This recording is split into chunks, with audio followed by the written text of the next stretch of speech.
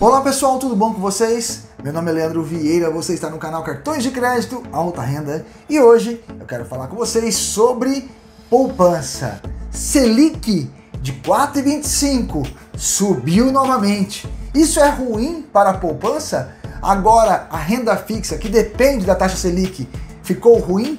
Como que fica a poupança referente a isso? É sobre este assunto que iremos tratar aqui no canal hoje.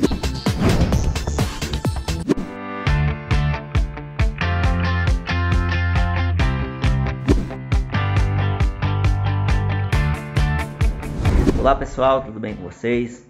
Meu nome é Laliano Lacerda, sou aqui de Montes Claros, Minas Gerais. E graças às dicas do canal, graças às explicações do Leandro, ao canal Cartões de Crédito Alta Renda, tenho conseguido me estabelecer financeiramente e conseguir alguns cartões de crédito. Lógico que eu estou fazendo o upgrade de alguns cartões para não ficar tantos cartões na carteira. E alguns cartões que eu consegui são esses daqui.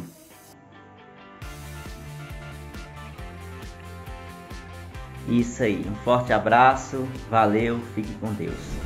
Gente, o Copom, o Comitê de Política Monetária do Banco Central, decidiu alterar a taxa Selic de 4,25 para 5,25%.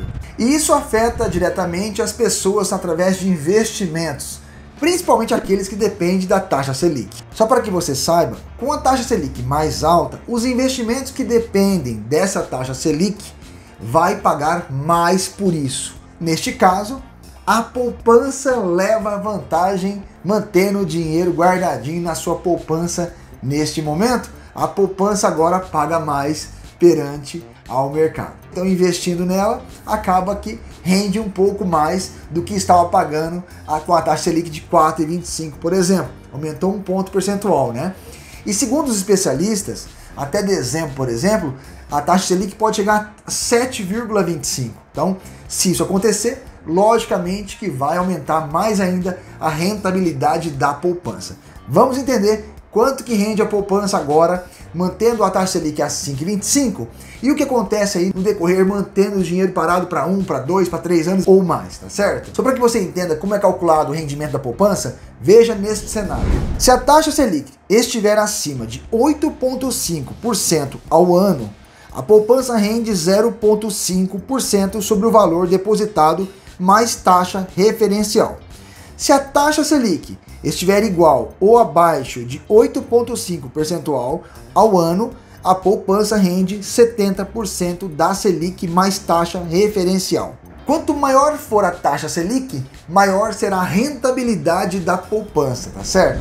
Vou trazer um gráfico para vocês de quanto que rende a poupança então, mantendo mil reais para um ano, para dois anos, três anos e assim sucessivamente, com a nova taxa Selic a 5,25, para que vocês comparem se vale a pena ou não. Veja, com a taxa Selic a 5,25 neste momento, o rendimento da poupança é 3,675% ao ano equivale mais ou menos ao mês 0,30, tá certo? E logicamente, quanto maior o tempo mantendo o dinheiro parado na poupança sem resgate, maior é a rentabilidade deste investimento, tá certo? Vamos fazer uma continha, colocando mil reais para um ano, dois anos, três anos, quatro anos, cinco anos e quanto que renderia o meu dinheirinho na poupança, tá certo? Veja esta planilha. Se você colocar mil reais num prazo de um ano, você teria então no total R$ 1.036,75, tá? O seu rendimento líquido é R$ 36,75, uma vez que na poupança você não paga impostos, ok? Se você colocar mil reais para dois anos, então você teria R$ 1.074,85, o rendimento líquido R$ 74,85. Mil reais para três anos, você teria então R$ 1.114,35, 114,35 seria o rendimento líquido para 4 anos, mil reais, você teria 1.155,30, renderia 155,30 nesses 4 anos líquido. E mil reais para 5 anos, você teria 1.197,76, teria 197,76 de rentabilidade líquida aí, junto à poupança para 5 anos. Então, esse seria o seu rendimento, tá ok? Olá pessoal, tudo bom? Eu sou o Leandro Vieira do canal Cartões de Crédito Alta Renda. Você conhece o nosso canal?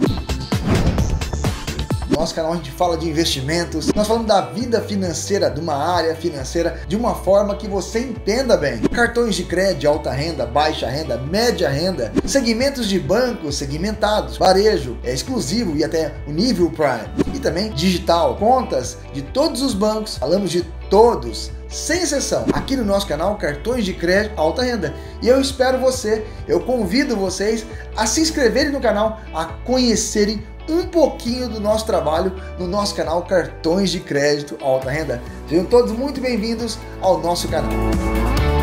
Só para que você entenda também o que é a taxa Selic, você muito fala Selic, Selic, Selic. Selic é o Sistema Especial de Liquidação e Custódia, tá? Então a sigla Selic significa isso. Ela praticamente influencia em todas as demais taxas de juros do Brasil, como as cobranças de empréstimos, financiamentos e até de retorno em aplicações financeiras, tá certo? A taxa Selic é definida a cada 45 dias pelo Copom. Então, por isso que os especialistas fazem cálculos e cálculos aí, podendo chegar então a 7,25 em dezembro, tá? Então, vamos ficar de olhos atentos se realmente vai acontecer essa mudança com a taxa Selic. A Selic, ela serve como uma referência para a economia brasileira, tá certo? Mas Leandro, então vale a pena eu manter meu dinheiro na poupança ou em um CDB que paga 100% CDI? Logicamente que um CDB que paga 100% CDI é melhor que a poupança ainda.